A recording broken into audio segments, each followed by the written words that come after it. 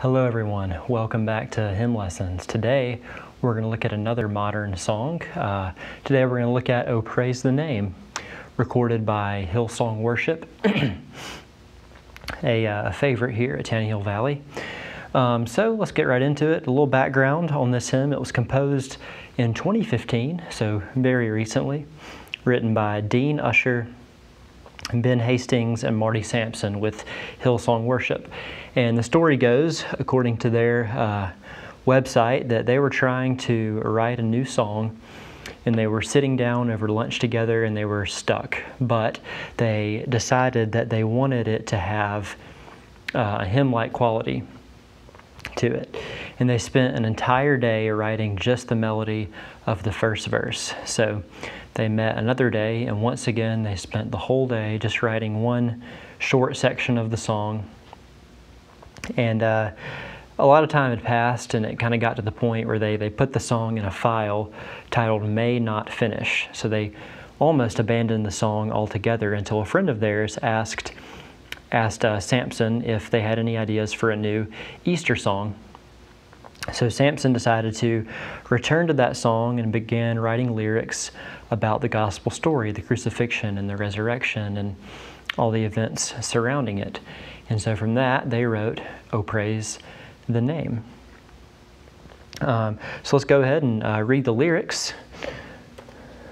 Starts off I cast my mind to Calvary, where Jesus bled and died for me. I see his wounds, his hands, his feet my Savior on that cursed tree. And then the next verse says, His body bound and drenched in tears, they laid him down in Joseph's tomb. The entrance sealed by heavy stone, Messiah still and all alone. Trying to block the screen here. And then the chorus says, Oh, praise the name of the Lord our God. Oh, praise his name forevermore. For endless days we will sing your praise, O Lord. O Lord our God. The third verse says, Then on the third, at break of dawn, the Son of Heaven rose again. O trampled death, where is your sting? The angels roar for Christ the King. And then it repeats the chorus. And uh, praise the name of the Lord our God, praise his name forevermore. For endless days we'll sing your praise, O Lord, O Lord, our God. And then the last verse says, He shall return in robes of white, the blazing sun shall pierce the night, and I will rise among the saints, my gaze transfixed on Jesus' face. And then we sing the chorus again. So clearly, it's a, it's a telling of the gospel story from Jesus' death and his resurrection and then his second coming.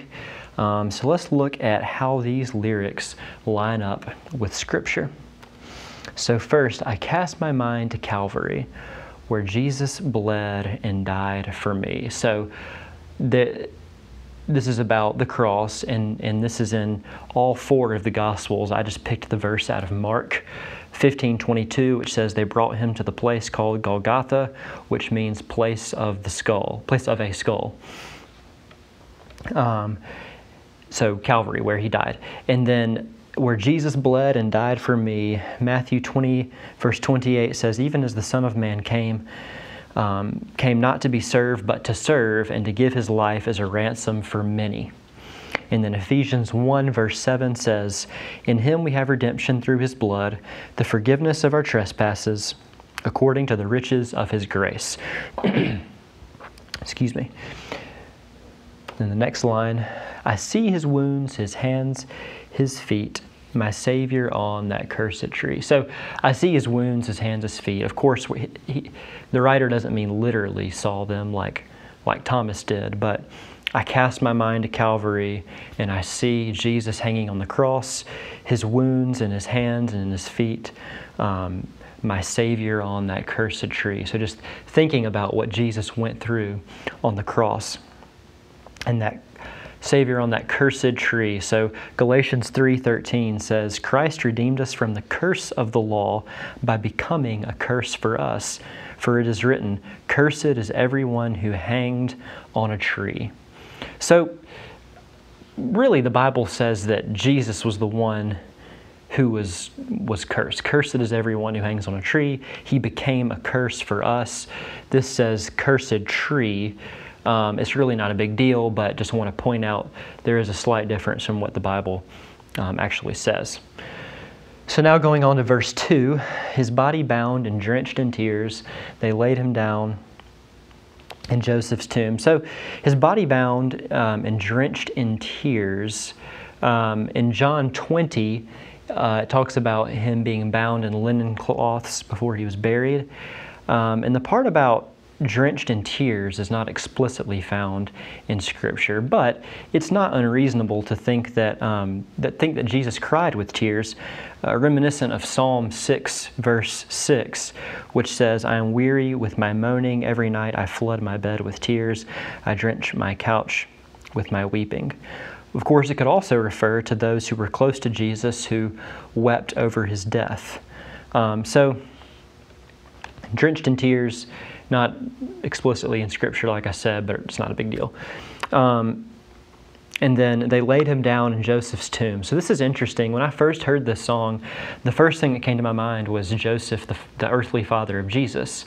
Um, but of course, that's not what it's talking about. It's talking about Joseph of Arimathea um, in John 19, who took the body of Jesus to bring him to the tomb.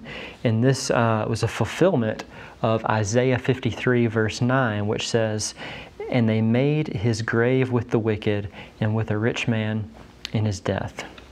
And then the last two lines of this verse, the entrance seal by heavy stone, Messiah still and all alone. Well, it's, it's just referring to the same thing that we just talked about. He was buried in the tomb, sealed by a heavy stone, and of course, he was still and all alone. He was dead. Now, the chorus. Oh, praise the name of the Lord our God. Oh, praise his name forevermore. For endless days we will sing your praise. O Lord, O Lord our God. There are lots of examples in Scripture, especially in the Psalms, that talk about praising God, um, praising him forever. Uh, all creatures praising God. So, just give you one example from the Psalm. Psalm 86, verse 12 says, I give thanks to you, O Lord my God, with my whole heart and I will glorify your name forever. And another verse, Revelation 5 13b, we looked at this last week, I believe, says, To him who sits on the throne and to the Lamb be blessing and honor and glory and might forever and ever. All right, let's go on to the third verse. Then, then on the third, at break of dawn, the Son of Heaven rose again O trampled death, where is your sting? The angels roar for Christ the King. So the first two lines, um, this is of course about Jesus rising from the dead on the third day. And as I mentioned earlier, this is in all the Gospels, but I just picked Luke just to pick one. Uh, 24, verse 7 says that the Son of Man must be delivered to, into the hands of sinful men and be crucified, and on the third day rise. Now the next line, O trampled death, where is your sting? This is a reference to 1 Corinthians chapter 15, verse 55, which says, O death, where is your victory? O death, where is your sting? Now, the last line, the angels roar for Christ the King. There's no direct biblical support for this, but the angels did rejoice at the birth of Jesus. In Luke 2 13 and 14, it says, And suddenly there was with the angels with the angel a multitude of the heavenly host, praising God and saying, Glory to God in the highest, and on earth peace among those with whom he is pleased. And then also they will rejoice at the second coming. Revelation 19, 1 and 2 says, After this I heard what seemed to be the loud voice of a great multitude in heaven, crying out, Hallelujah, salvation and glory and power belong to our God for his judgments are true and just. He has judged the great prostitute who corrupted the earth with her immorality and has avenged on her uh, the blood of his servants. So, we do know in the Bible that the angels rejoiced at Jesus' birth. They will rejoice at his second coming. So it's not unreasonable to think that they rejoiced when he rose from the dead on the third day, but the Bible doesn't specifically say that that took place. Um, once again, it's not a huge deal, but something to be aware of. Then the song repeats the chorus, and then we go on to the fourth verse He shall return in robes of white, the blazing sun shall pierce the night. Um, this is another example of it's not exactly what it says in Scripture. Revelation 19, 13, and 14 says, He is clothed in a robe dipped in blood, and the name by which he is called is the Word of God. And the armies of heaven, arrayed in fine linen, white and pure, were following him on white horses. So the the armies are, are wearing white, the horses are white. It says he's wearing a robe dipped in blood. Um, not a big deal that it's that this is not exactly what Scripture says. I mean, it could, it could be a white robe that happens to be dipped in blood. We don't know. Um, but with the armies in white, the horses are white. It makes sense to say robes of white. And then the blazing sun shall pierce the night. This is referring to, well, I kind of a double meaning here. Um, the, the light of, of Christ, you know, piercing through the darkness of the earth, um, but also referring to the gaze, the eyes of the Lord. In Revelation 19:12, it says, "His eyes are like a flame of fire, and on his head are many diadems, and he has a name written that no one knows but himself." So this is referring to the second coming, of course. And I will rise among the saints, my gaze transfixed on Jesus' face. So I will rise among the saints. This is about our resurrection at the second coming of Christ. Acts 24:15 says, "Having a hope in God, which these men themselves accept, that there will be a resurrection of both the just and the unjust." And then 1 Corinthians 15:52 says, "For the trumpet will sound, and the dead will be raised imperishable, and we shall be changed." Now, this last line, my gaze transfixed on Jesus' face, this is just looking to Jesus. Uh, Hebrews 12, verse 2 says, Let us run with endurance the race that is set before us, looking to Jesus.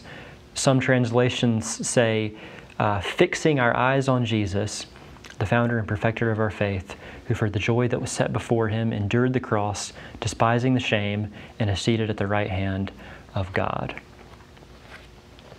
And then the song repeats the chorus again, which we already looked at.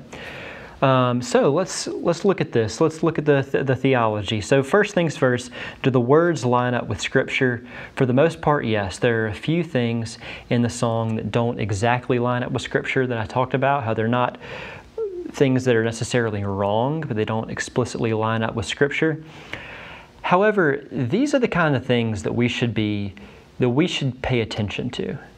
Okay, I mean, like I said, some of these things are not a big deal, like robes of white um, his body bound and drenched in tears. These things aren't specifically in the Bible, but we should be careful. We should always examine the songs that we sing because even though these are little things that aren't a big deal, sometimes songs have words in them that are little things, one little line that doesn't line up with Scripture, but it is a big deal.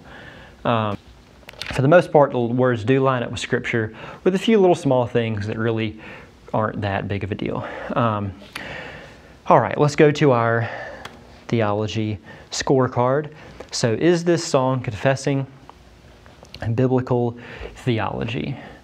Well, it talks about, let's go back to the lyrics Jesus dying at Mount Calvary, um, the cursed tree, talks about his him being buried in Joseph's tomb, um, talks about us praising him forever uh, in the chorus. We talked about that being in, in the Psalms and other places in Scripture. Uh, he trampled over death, it mentions that, and talks about his return. So, does it confess biblical theology? Yes. Um, even though, like I said, some of the words don't entirely line up with Scripture, uh, it still confesses biblical theology and is the, the message is true. Is the song centered on God instead of yourself? Well, it says a name for God 21 times, and it says I or me seven times. So, yes, this is focused on God instead of yourself. It's the whole gospel story and about us giving all of our praise to Him. So, yeah, focused on God. Would this song make an Arian heretic uncomfortable? Well, who does it mention? It talks about Jesus being our Savior. It says Jesus is the Messiah at the end of the second verse. Um, and then it talks about God in the chorus, God the Father. Um, and then his return in the last verse. So it equates Jesus with God. So, yeah, that's good. Makes an Arian heretic uncomfortable. Is there biblical gospel in this song? Well, uh, yeah, it's you know this this song is all about the gospel story, Jesus' death, his resurrection, his his uh, his second coming. Um, yes, biblical gospel in this song. Is there biblical law in this song? All right, let's talk about this. When we talk about the cross, it is very, very important, essential, that we explain what was accomplished on the cross. Did Jesus die just because? Well, of course not. He died in our place. We should have been on the cross. We're guilty of sin. But Jesus took our place to pay the penalty for our sin so that the righteousness of Christ could be put on us. And I don't see that in this song. All right, well, let's go to the first verse the, the first verse is the only part that talks about the crucifixion. I cast my mind to Calvary where Jesus bled and died for me. Okay, it says bled and died for me, but why? I see his wounds, his hands, his feet, my Savior on that cursed tree. It doesn't really say. It does say the cursed tree. It kind of mentions biblical law a little bit, but it's, it's just really not there. So I cannot give this, this one a pass. Um, and then lastly, is this song clearly addressing God in any capacity? Yes. So, almost a perfect score. There's not really biblical law being addressed. It doesn't talk about our sin. It doesn't really talk about Jesus' atonement for our sin, even though it talks about the cross. And that, I just don't like that. Um, this is not a bad song. I don't think it should should be taken out of our worship services. I still think it's a good song, but we need to be aware we need to know why Jesus died on the cross, the, the seriousness of our sin. Um, this is a song that works really well on Easter Sunday. Talk a little bit about the cross, but the main focus of the song is the resurrection and the second coming. We wouldn't, you know, we, we could sing this on Easter Sunday, but on Palm Sunday or Maundy Thursday, we would sing songs that are more focused on the cross and that really dive deeper into our, our sin, Jesus' atonement, uh, the law, you know, things like that. So just want to say it again. This is not a bad song. It did get a no on this one section, but I still give it a pass. Um, but just always be careful. And if we were to put this song in a worship service, we would want to have a song before it, maybe, that talks more about law and sin. So you have that progression. Now, the last two questions is this easy for an outsider to understand? Uh, yes, it's just very simply laid out of the gospel story. Jesus died, he rose again, um, trampling over death, and he will return, and it is our duty to praise God. So easy for an outsider to understand, yes. Is this theologically challenging for the believer? Not really. I mean, once again, these words are true, these words are good, but it's, it's the basics of the gospel story. Now, it's not bad to remind ourselves of the basics and remind ourselves um, what Jesus did, why he came to earth, but it doesn't really dive in depth theologically and, and scripturally into it. So I would say it's not really challenging for the mature believer. For the young believer, maybe so. For the outsider, yes. But for people who have been studying the Bible their whole lives, um, this song is pretty pretty basic. Um, but it's not necessarily a bad thing. So, oh, praise the name, almost perfect score.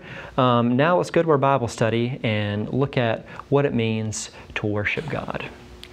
As we begin our Bible study today, I want to just ask a simple question, and that is why, why do we worship God?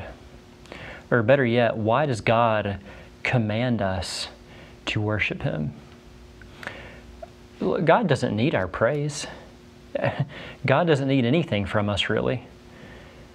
Um, so, why, why do we worship God?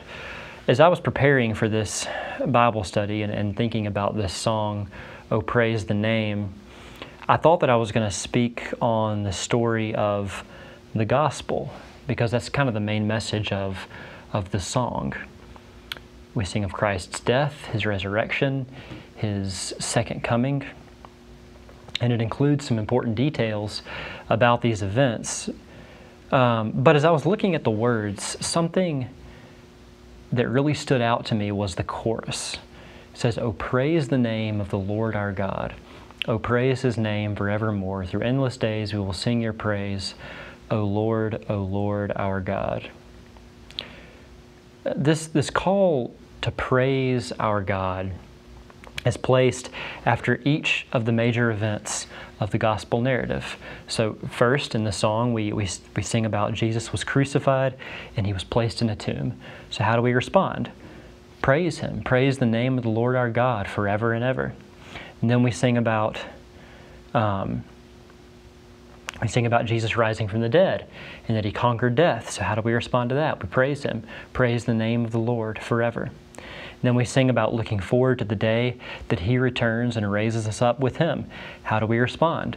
Praise Him. Praise the name of the Lord our God. Praise His name forevermore. So clearly, if just by looking at this psalm, we can see that praising God is very important. But why?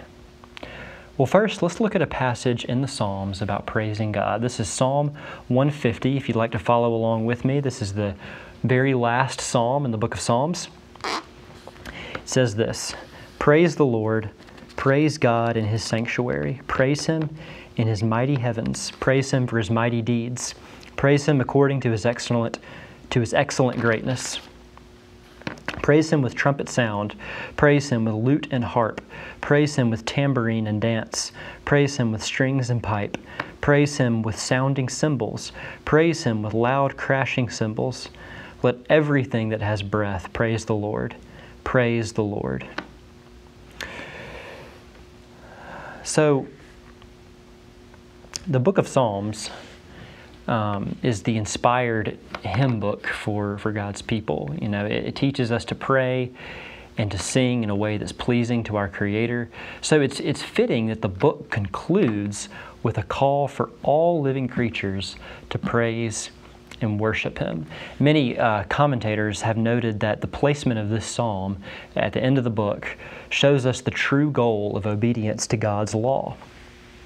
There are many Psalms that show us how to keep God's commands and, and, the blessedness that comes from that. But the Lord also shows us that law keeping is not an end in itself. Instead, the worship of the Lord is the ultimate goal of our obedience. A life that's governed by God's law and, and therefore governed by all of Scripture will produce heartfelt worship. The purpose of God's law is to produce the adoration that we see here in Psalm 150, which comes from the hearts of those who have been redeemed and who are intent on pleasing and praising the Almighty God. If you look through the psalm again, verse 3 and 4, where it says, Praise him with, with uh, trumpet sound and with lute and harp and tambourine and, and, and strings and pipe these verses are telling us that it's necessary to praise Him with all different kinds of instruments. And then verse 6 let everything that has breath praise the Lord. Verse 6 commands all creatures to praise Him. And the Psalms were not meant for the Jews only, you know, that they were written for all people. And for us as Christians, worshiping God in spirit and in truth must be the goal of our lives. But even though this is, you know, this is telling us how we should worship, why we should worship, this really doesn't answer the question, um, answer the original question that I asked, and that is why does God command us to praise Him? Well, a couple of years ago, D.A. Carson wrote an article on this subject, and in, in his article, he talked about his experience in ministry on college campuses. And he said that he got this question from a student once that, that stuck with him he got this question in just the past couple of years. The student, who was not a believer, asked him this Among human beings, anyone who wants to have all of the attention and garner all the praise, anyone who wants to be the focus of everyone's constant admiration, with everyone stroking that person and fawning all over him, will be thought of as massively egocentric. The God you were trying to push on us looks to me to be very egocentric. He keeps demanding that we praise Him all the time. For goodness sake, is He insecure? Isn't He, at the very least, morally defective? Now, as Christians, we know this kind of question is blasphemy, but, but if we really think about it from the perspective of a, of a non believer, I mean, this is an interesting question. And, and Carson pointed out the fact that he had never gotten such a question before now because, he said in his article, the typical non believer today is different from the typical college age non believer that he would have spoken to 20, 25 years ago. See, he says that up until recently, many atheists actually grew up in Christian homes. So these non believers at least had an idea of who God is. The God that they didn't believe in was usually the God of the Bible. So they had a concept of a sovereign, transcendent God who is unique and deserves special attention. But now that's not really the case for many non believers. So we can't just assume that these people understand why God deserves praise. And, and while it would be a true, truthful response to that question to say that God is so much more than we are, that He's not just a, a human, but, but better, and He's not, He's the King, He's the Creator, He's the Sovereign One. All that would be true, but there's actually a lot more to it than that. Um, the pastor, famous pastor John Piper, has made this, this point in many of his sermons. He said, because we have been made by this God, I'm paraphrasing here, because we have been made by this God and for this God, because our very self identity, when we are right with God, is to love Him supremely, to adore Him, and to worship Him. It is, it is a supreme act of love on His part to keep demanding it because it's for our good. The first, the very first question and answer in the Westminster Shorter Catechism is this. The question is, What is the chief end of man? And the answer is man's chief end is to glorify God and to enjoy Him forever. So, our entire purpose is to glorify God and to enjoy Him forever. That's why we are here. What good would it do for us if, if God were to say, hey, you know, don't, don't give me too much worship, don't, don't focus on me too much? I mean, that might satisfy an idolater's notion of humility. But the humility that's in the King of Kings and the Lord of Lords was on the cross at Calvary. And that he keeps directing attention to himself is an act of supreme humility and grace, precisely because he stoops to remind us of what we ought to recognize and because it is for our good. There is no insecurity in God, as that college student asked. He has no needs. From eternity past, the Father and the Son existed together and love each other, and they were perfectly content. But He doesn't demand that we love Him because He needs it, but because we need it. This focus on Him is not just because He is God, although he is God, and, and, and we should praise Him because of that, but also because out of love, it's what we need. That's the point. That is the point to which our adoration must come. And if it doesn't, then we'll just return to idolatry again and again and again. We praise Him not only because He loved us so much that He did everything that's mentioned in this song that he left heaven to take on the form of a man. He died on a cross. He rose from the dead so that we can have eternal life and one day will return to take us home. But we also praise him because he loves us enough to show us exactly what we need and turn our attention back to him every time we lose focus and every time we fall into sin.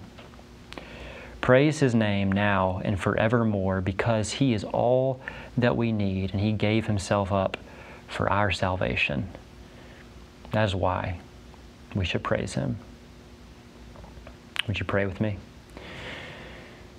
Heavenly Father, we praise you and thank you that you sent your Son Jesus, as it is laid out for us in this song. You sent your Son Jesus to, take on the form of a man, died on the cross in our place, and rose from the dead. And Lord, we long for the day that you return and take us home. But until then, I pray that we would be faithful servants of you here on earth and that we would praise you and honor you with all that we do. It's in Jesus' name we pray. Amen.